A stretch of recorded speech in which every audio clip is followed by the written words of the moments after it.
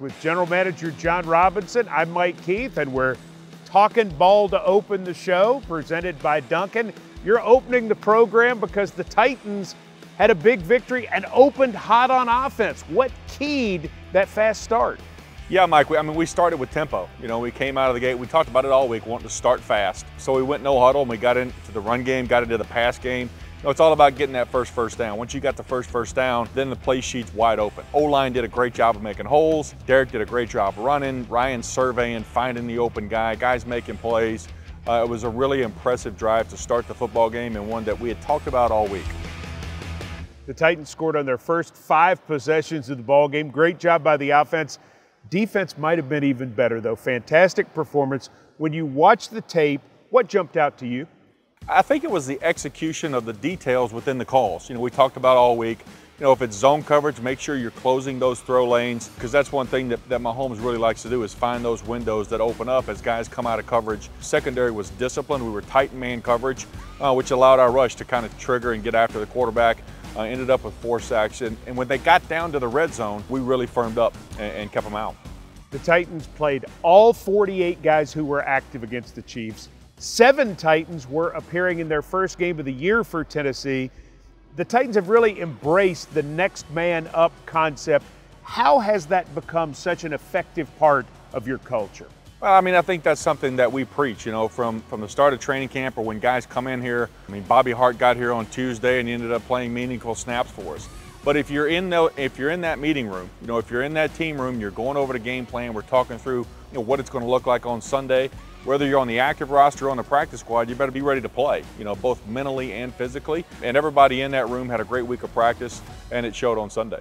Not once this year have your five starters in the offensive line played every snap in a game. You've had to go to backups in every contest, and yet the offensive line has continued to improve. Have you done it?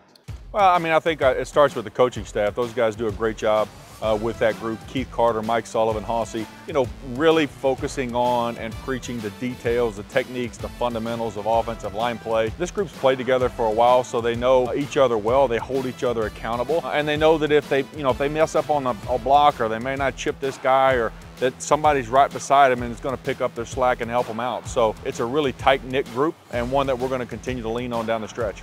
The Titans are plus five in turnover ratio in the month of October after being minus six in September.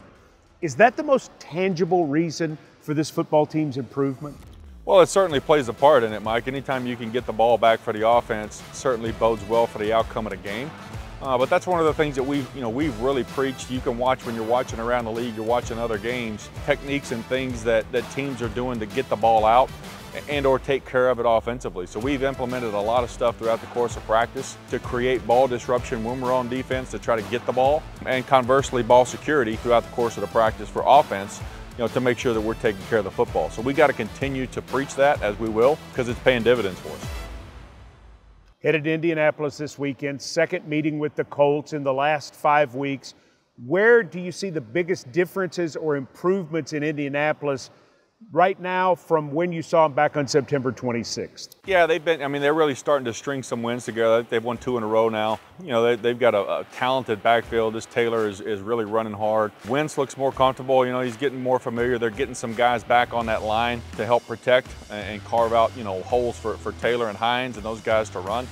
You know, Mo Alie-Cox has, has been a target for, for Wentz and, defensively, they're turning the football over. You know, they're, I think they're plus nine in the turnover margin, second in the league. They're a really disciplined football team. I think they've got the fourth fewest penalties of any team in the league, so that's a testament to Coach Reich and the way that they're doing things. But you can tell they're starting to get a little bit of confidence in the way you watch them play. What are the challenges of playing the Colts at Lucas Oil Stadium? Yeah, anytime you got a road game and, you know, more specifically a division game, a coming off a game a couple weeks ago that's fresh in both of our minds, it's always tough. You know, their fans are going to be loud at home, you know, wanting, wanting to get a, a division win. So we'll have to put a game plan in, in place and, and go out and execute it well on Sunday to win.